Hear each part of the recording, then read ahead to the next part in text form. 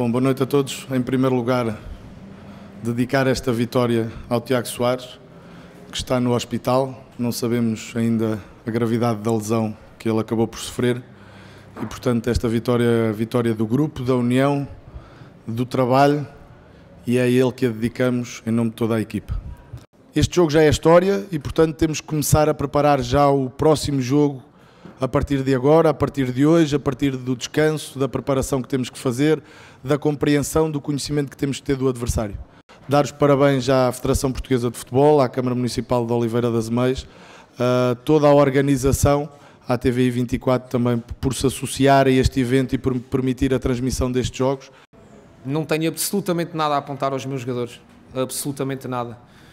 Fizemos eh, de tudo, individual, coletivo e estrategicamente para superar os cinco jogadores da Desportiva do Fundão. Por várias vezes superámos quatro, por várias vezes superámos três. Nunca conseguimos ultrapassar os cinco, mas profundamente ingrato. Que acaba também, obviamente, por premiar uma ação de qualidade estratégica por parte da, Desportiva do Fundão nos últimos segundos.